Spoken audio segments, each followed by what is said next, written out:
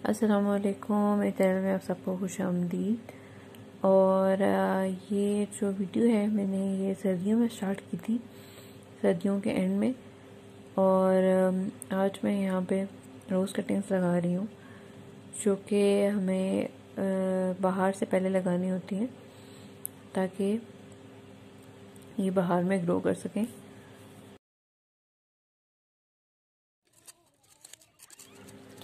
और उसके साथ साथ मैं जो है, मेरा गार्डनिंग एरिया उसके एज पे यहाँ स्पाइडर प्लांट्स भी प्लांट कर रही हूँ।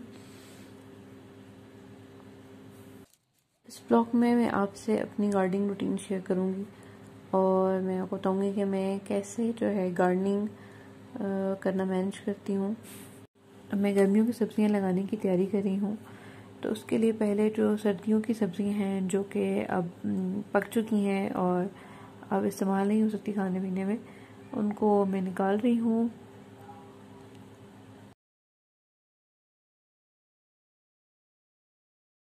यहाँ पे मैं कश्मीरी साग, जिसे कड़म का साग भी हम कहते हैं, ये मैं निकाल रही हूँ और ताकि इस एरिए को मैं कुछ और सब्ज़ी लगाने के लिए इस्तेमाल कर सकूँ इन फ्यूचर।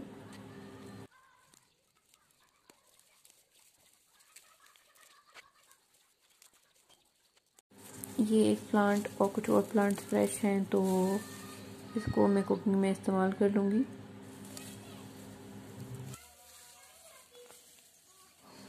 गार्डनिंग इतनी आसान टास्क नहीं है। इसमें आपको बहुत सी मेहनत और एहतियात की ज़रूरत होती है। और उसके बाद ही जब कि आपको उसका फल मिलता है और आपके पौधे का बाग जो है वो खूबसूरत नज़र आता है। यहाँ मैंने सारा कश्मीरी साग जो है वो रिमूव कर लिया है। कुछ मैंने रह दिया है सीड्स के लिए, वो बाद में मैं रिमूव करूँगी। और यहाँ पे मैं कुछ वीड्स जंगली जंगली बूटियाँ हम कहते हैं, और जो मटर के पौधे हैं, जो कि डेड हो गए हैं आउट ऑफ़ सीज़न हो गए हैं, उनको भी रिमूव कर रही हूँ, ताकि इसकी जगह मैं कुछ और प्लांट कर सकूँ।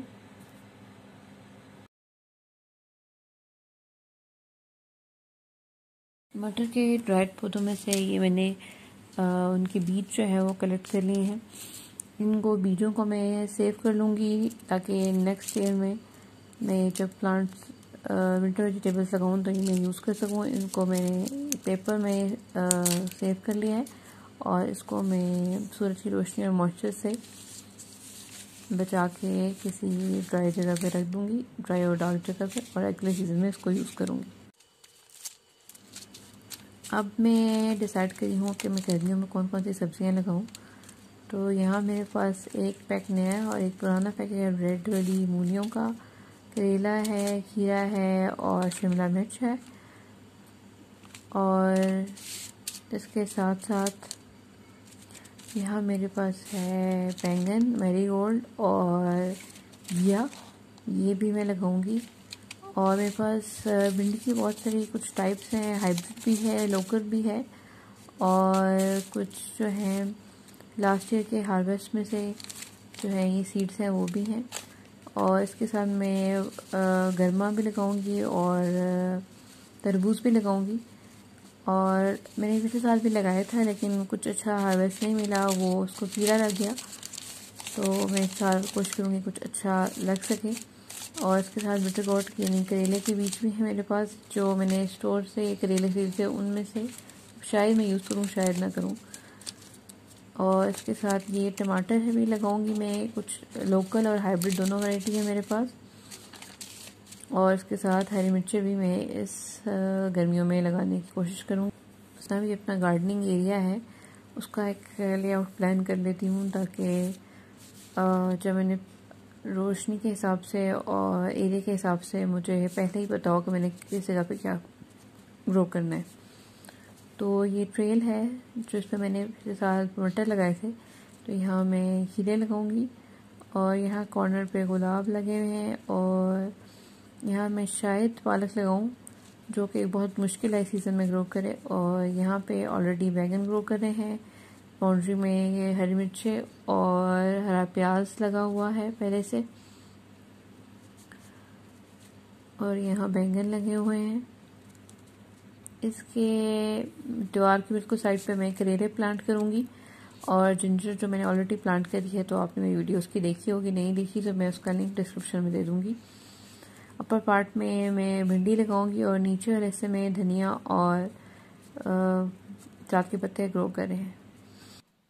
और मैं मैं टमाटर लगाऊँगी, उसके नीचे वाटरमेलन उसके साथ मेलन और साथ घिया और उसके जो एरिया बची है, उसमें मैं मूलियाँ और बैंगन लगाऊँगी। और कुछ एरियाज़ में अभी तक प्लांट ग्रो करे हैं, जैसे जहाँ पे मैंने वाटरमेलन लगाना है, वहाँ पे चुकंदर और शलजम लगे हुए हैं और जहाँ मैंने लगाना है, वहाँ पालक लगी है और जहाँ घिया लगाना है, वहाँ पे शलजम लगे हुए हैं। और तो कुछ यहाँ पे मेथी भी लगी है और स्पिनच भी लगी है तो ये सब चीज़ें कुछ मैंने रिमूव करनी है।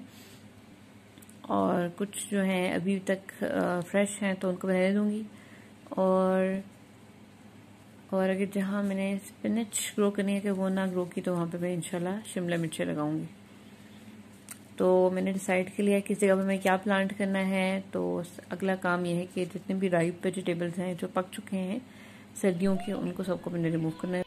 ये कड़म साग है जो कि मैंने पहले रिमूव कर दिया था, लेकिन ये मैंने दिया था कि बीज पे लट कर दूँ, ये उसके बीज हैं। और अब मैं यहाँ से पालक को रिमूव कर दूँगी इस बेड में से, ताकि यहाँ पे मैं गर्मा लगा सकूँ। और ये सारी मैंने पालक निकाल दी है। ये बहुत मुश्किल था, ये बहुत डेंस होती है।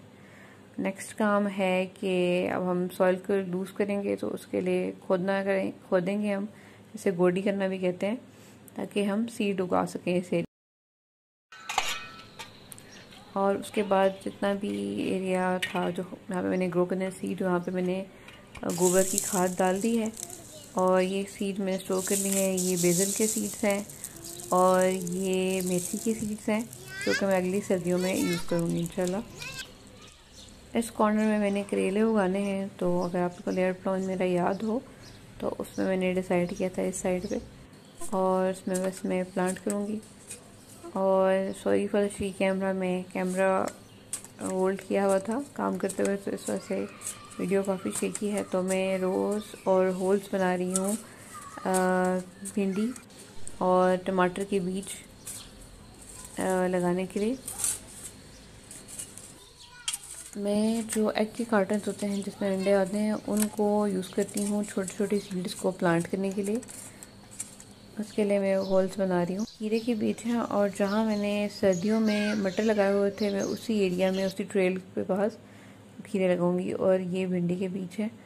तो आज काफ़ी काम हो गया है और सूरज गुरु हो गया लेट हो गया तो बस ये मैं पानी डालूँगी पौधों को और आज इतना ही काम करूँगी बस। एक महीना गुजर चुका है और जो मैंने सीड्स प्लांट किए थे काफ़ी हद तक स्प्राउट हो चुके हैं और आज मैंने करेले को और ये खीरे, आप देख सकते हैं, इनको बांधना है ट्रेस के साथ ताकि ये इनकी जो बेल है ये ऊपर चढ़ सके। पहले मैं करेलों को बांधूँगी तो ये मैं सूत्र इस्तेमाल करी हूँ, थोड़ा मोटा है। बहुत मोटा नहीं है, मीडियम से साइज़ का है। आपके पास जो थ्रेड हो आप यूज़ कर सकते हैं, लेकिन बहुत बारीक मत यूज़ कीजिएगा, उससे पौधों में कट पड़ेंगे। तो सबसे आपने बेस के करीब एक बहुत लूज सी नॉट टाई करनी है ताकि पौधे को बिल्कुल भी जो है उस पर स्ट्रेस ना रहे। और उसके बाद आपने इस पूरे थ्रेड को नीचे बेस से ऊपर टॉप तक उसके पौधे के अराउंड जो है उसको रैप करना है। और उसके बाद जिस सपोर्ट से आपने उसको बांधना है उससे आप बाँध सकते हैं। याद रखें कि बहुत लूजली रैप करना है, बिल्कुल भी टाइट नहीं होना चाहिए। ये मैंने बाँध दिया है, ये आप देख सकते हैं। और इसी तरीके से मैं अपने बाकी भी पौधे जो हैं, करेले के बाँध दूँगी। और यहाँ आज मैंने पाँच करेले के पौधे अपने बाँध लिए हैं। इस ग्रिल के साथ मेरे बांधे हैं ये इस थ्रेड पे क्लाइम करते करते ग्रिल तक पहुँच जाएँगे और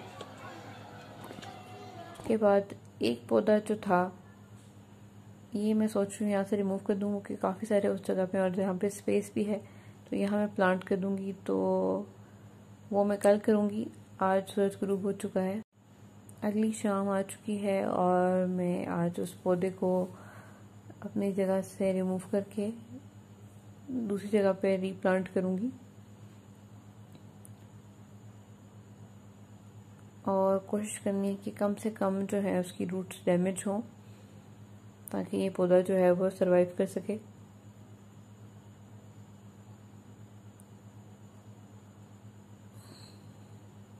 और यहाँ इसको मैंने रीप्लांट कर दिया है। और उसके बाद उसको अच्छे तरीके से पानी देना है।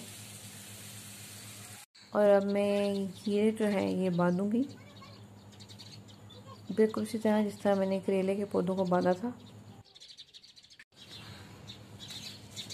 उसी तरह मैंने थ्रेड लिया है और बिल्कुल बेस से बहुत लूज में टाई करना है और उसको फिर रैप करना है टॉप तक और किसी सपोर्ट से उसको टाई कर दें। तो सिंपल सा प्रोसेस है और मैं नीचे वाले कुछ लीव रिमूव कर रही हूँ। अपने वन फोर्थ जितने भी लीव्स है प्लांट से, उसके वन फोर्थ रिमूव करने से ज़्यादा रिमूव करनी है वरना प्लांट स्ट्रेस में चला जाएगा। और लीव रिमूव करने का फ़ायदा ये होता है कि जब आप पानी डालते हैं तो उससे पत्तों में पानी नहीं पड़ता और बहुत सारी बीमारियों से जैसे पर्ड्यू मल्ड्यू वगैरह, उससे बच सकता है। ये मैंने पौधे बाँध दिए हैं और कुछ रह गए हैं। तो ये मैं कब, कल करूँगी और अपना अपना भी गार्डनिंग स्टाफ पलट कर लूँ कि अब काफ़ी देर हो चुकी है। और बस एंड में फिर दोबारा सबको पानी देना और फिर मैं निकल जाऊँगी।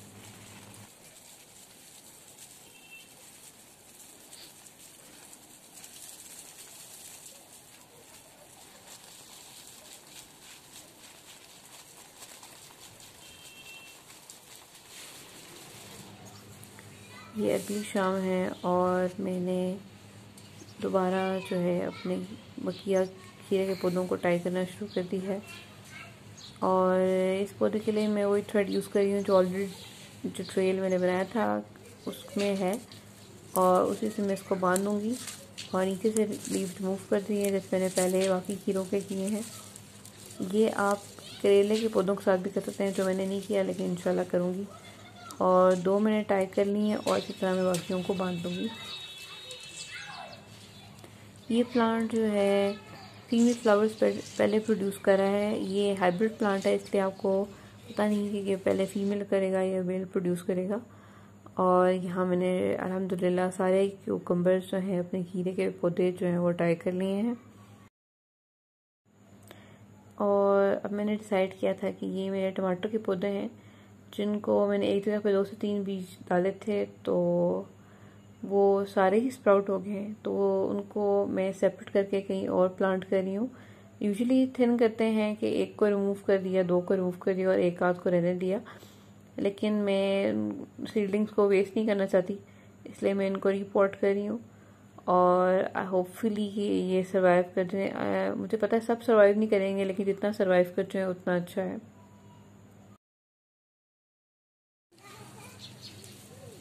और ये आखिरी टमाटर का पौधा है जिसको मैं रीप्लांट कर रही हूँ। बस हल्का हल्का प्रेस करके और दुआ करती हूँ कि ये सर्वाइव कर जाए। और ये मैंने सारे पौधे कर लिए हैं। यहाँ मैं कुछ भिंडी के बीज और लगा रही हूँ, क्योंकि पहले जो मैंने बीज लगाए थे, उसमें सब जो है वो नहीं ग्रो किए। और इन दी एंड में आखिरी टास्क यही होता है, पानी डालना सारे पौधों को। तो उन सबको पानी डाल रही हूँ। मुझे उम्मीद है कि आपको वीडियो पसंद आई होगी। इस तरह मैं गार्डनिंग करती हूँ। थोड़े थोड़े से टाइम में मैनेज करके रोज़ थोड़े थोड़े दिन। तो अगर आपको वीडियो पसंद आई तो मेरी वीडियो को लाइक करें। और अगर अभी तक सब्सक्राइब नहीं किया तो मेरे चैनल को सब्सक्राइब करें इंस्टाग्राम पे फॉलो करना चाहते हैं तो मुझे फॉलो करें ट्रबल फ्री इंडर है और टास्किंग पर। और मेरा फेसबुक ग्रुप भी ज्वाइन कीजिएगा।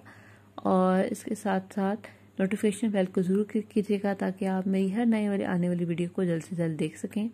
आज के लिए इतना ही। देखने के लिए बहुत बहुत शुक्रिया।